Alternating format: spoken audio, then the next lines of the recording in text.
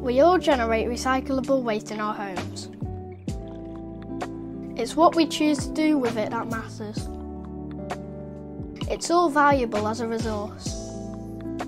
By recycling as much as we can, we can reduce our impact on the natural world.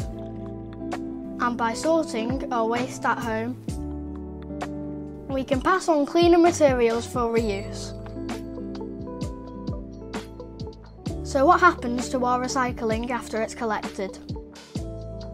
Our recycling is handled here in the borough by CEW. Waste is weighed before being offloaded separately. It's then bulked and ready to be processed and reused. Cardboard and paper are turned into cereal boxes, paper towels, pencils and paper. Glass will be sorted into colours,